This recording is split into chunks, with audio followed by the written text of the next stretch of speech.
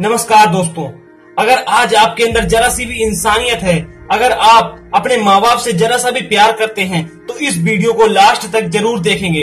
इस वीडियो को मैंने आज दिल से बनाया है।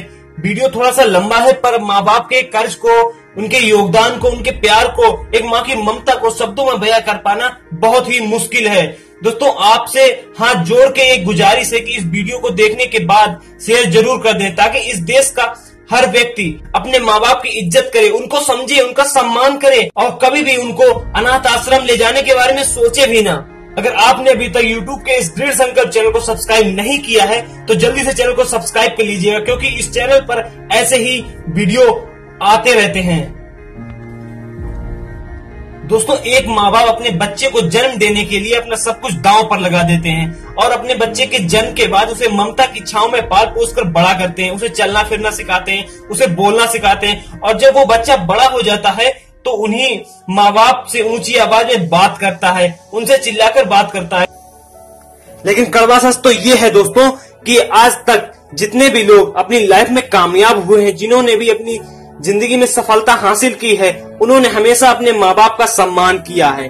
जो लोग अपने माँ बाप का सम्मान नहीं करते, वो कितना भी प्रयास क्यों ना कर लें? अपनी ज़िंदगी में कितनी भी मेहनत क्यों ना कर लें, वो कभी सफलता प्राप्त कर ही नहीं पाते। आज का सच तो ये है कि माँ बाप की नसीहत तो सबको बुरी लगती है, और उन्हीं माँ बाप की वसीहत सबको अच्छी लगती है। माता पिता के बिना घर कैसा होता है, इसका अनुभव अगर तुम्हें करना है तो सिर्फ़ एक दिन अपने अंगूठे के बिना सारे दिन सिर्फ़ उंगलियों से काम करके देखो, तुम्हें तुम्हारे माँ बाप की कीमत पता चल जाएगी। अरे याद करो उस दिन को, जब तुम्हारे पापा सारा दिन काम करने के बाद भी कुछ नहीं बचा पाते थे, तब खुद पैदल चलकर किराए वाले पैसों से तुम्हारे लिए कुछ लाया करते थे। ये सोचकर कि जब मैं घर पहुंचूँगा और मेरा बच्चा मुझसे पूछेगा कि पापा मेरे लिए क्या लाए हो, तब मैं उसको क्या जवाब दूँगा।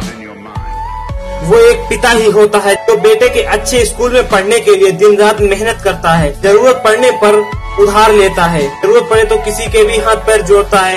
कभी सोचा है तुम्हारे स्कूल जाते वक्त कितनी बार जल्दी जल्दी में रोटियाँ सेकते वक्त तुम्हारी माता के उंगलियाँ जली हैं? जरा सोचो उस माँ के बारे में कि वो कैसे रातों को सोया करती होगी जब तू छोटा था और रातों को बिस्तर गीला कर दिया करता था। और तब तुम्हारी माँ तुम्हें खुद अपनी छाती पर लेटा करके स्वयं उस गीले बिस्तर में लेटा करती थी। अपने दोस्तों को तो बहुत बार गले लगाया होगा, पर क्या कभी, पर क्या कभी तुमने अपने माँ बाप को गले लगाया है? आज अपने माँ बाप को गले लगा करके देखना, दुनिया की सारी टेंशन खत्म हो जाएगी।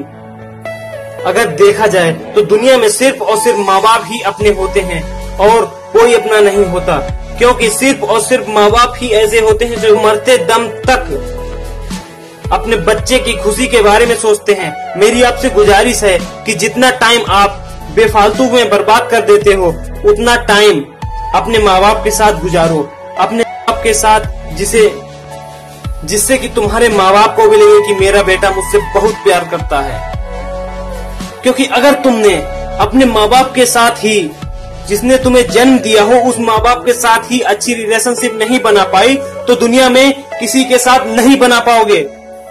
हमारे वेदों में, शास्त्रों में, हर जगह माँ बाप का स्थान देवों से भी ऊपर बताया गया है। माता पिता के ऋण से कभी कोई अऋण नहीं हो सकता, क्योंकि हमारा वजूद ही उनकी वजह से है और इस संसार की सारी संपत्ति देकर भी किसी के वजूद को नहीं खरीदा जा सकता, ज़िंदगी को नहीं खरीदा जा सकता। लोग कहते हैं कि जमाना बदल गया। हाँ जमाना बदल गया है, क्योंकि पहले बाप के चेहरे में ईश्वर दिखाई देते थे और माँ के चरणों में स्वर्ग दिखाई देता था। लेकिन अब लोग अपने आप को समझदार समझते हैं। आज की पीढ़ी बड़ी होशियार और प्रैक्टिकल हो गई है। उनके लिए हर रिश्ता सिर्फ़ एक सीढ़ी बनकर रह गई है, जिस पर पाँव रखकर उनको आगे निकलना है। लोग सीढ़ी पर पाँव रखकर आगे निकल जाते हैं और जब उसका कोई काम नहीं रह जाता है तो कल का अखबार समझकर उसे रद्दी खाने में फेंक देते हैं। लेकिन ज़िंदगी सीढ़ी की तरह नहीं होती है, ज़िंदगी पेड़ की तरह होती है माँ बाप उस पेड़ की जड़ होते हैं। पेड़ कितना भी बड़ा क्यों ना हो जाए, कितना भी हरा भरा क्यों ना हो जाए, लेकिन जड़ काटने से वो हरा भरा नहीं रहेगा।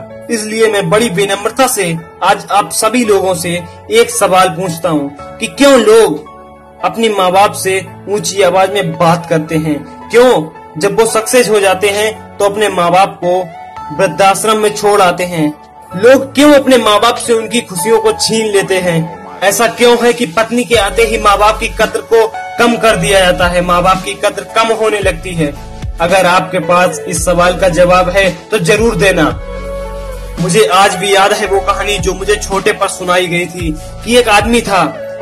जिसके माँ बाप ने उसकी ज़िंदगी में सारी खुशियाँ भर दी, हर सुख सुविधा दी, और वो अपनी ज़िंदगी में कामयाब होता चला गया। और वो एक दिन एक इतना बड़ा इंसान बन गया कि उसने अपने माँ बाप को अपने आगे कुछ नहीं समझा, अपने माँ बाप को कुछ नहीं समझने लगा, और उन्हें दुत्कारने लगा, उनसे ऊँची आवाज़ में बात करने लगा। उसे अपने आप पर घमंड आ गया। वो किसी से भी सीधे बात नहीं किया करता था। वो इंसान ज़िंदगी में कामयाब तो रहा, पर वो इंसान जब अपने मौत के करीब पहुँचा तो कुछ क्षण पहले वो रो रहा था। जानते हो क्यों? क्योंकि उसने अपनी ज़िंदगी में अपने माँ बाप को प्यार नहीं दे पाया। अपने माँ बाप का प्यार तो हासिल किया, पर अपने माँ बाप के लिए कुछ कर नहीं पाया।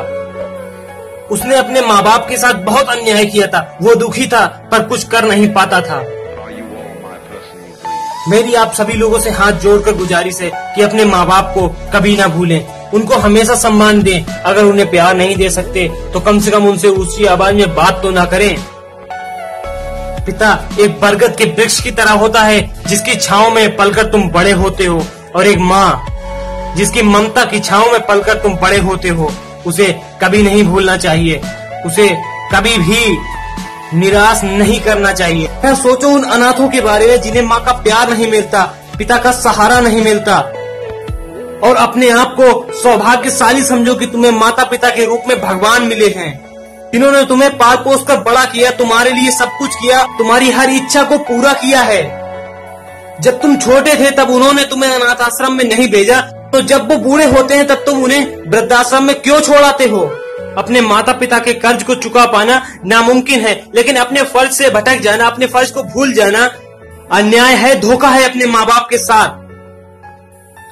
माँ का ऋण तो तुम्हें जीते जी समझ में आ जाएगा, लेकिन पिता का ऋण तब तुम्हें समझ में आएगा जब वो चले जाएँगे।